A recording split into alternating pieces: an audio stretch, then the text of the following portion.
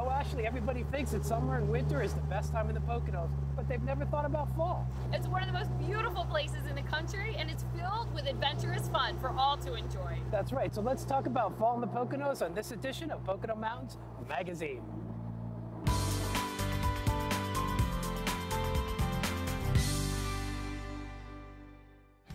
Now this, guys, must be one of the best ways I've ever seen to look at the Pocono Mountains in any season, right Ian? Oh, absolutely, Chris. With no doors, no roof, no windows, you just got a 360 degree cockpit. You're just seeing all the beautifulness of the Pocono Mountains. We got uh, some great back roads to check out in the Pocono Mountains. You can ride around, take it around some lakes. It's even great to get as a gift. You can get a gift certificate for either a four hour or eight hour rental and give it to your significant other, and you both get to enjoy the ride because there's dual seats.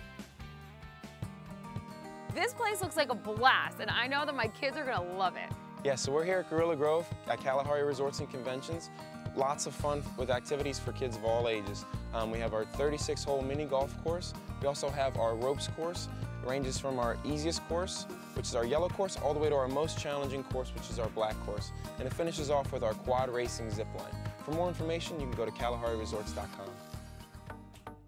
What an amazing day in the Poconos, and this is certainly a great time to go ziplining, right, Jackie? Yes, it is.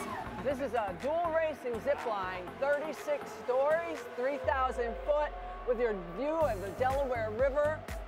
Takes about 60 to 70 seconds to race this line. It's, a, it's an adrenaline rush. It's fall now at Kittatinny. We suggest you come on up, try this zip line, get a rush. Well, the Poconos certainly keep the adventures going during the fall season. And there's something new and exciting for every season. To find out more, visit us at PoconoMountainsMagazine.com.